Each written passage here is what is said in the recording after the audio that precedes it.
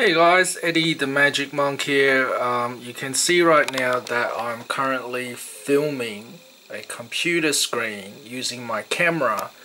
And it should be quite obvious to you that there are there is a little bit of flickering happening on the screen right? And this tutorial is basically helping you guys understand how to get rid of the flickering so where does the flickering come from? Well, basically the screen's refresh rate is different to the frame rate that the camera is filming at. So what we're going to do is I'm simply going to change the refresh rate on the monitor and that should hopefully get rid of the flickering.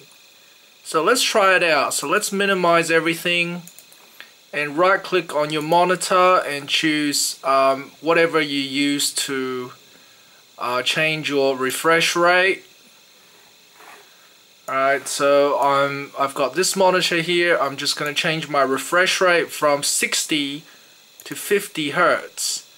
Okay and then once I click apply you should see straight away that the flickering goes away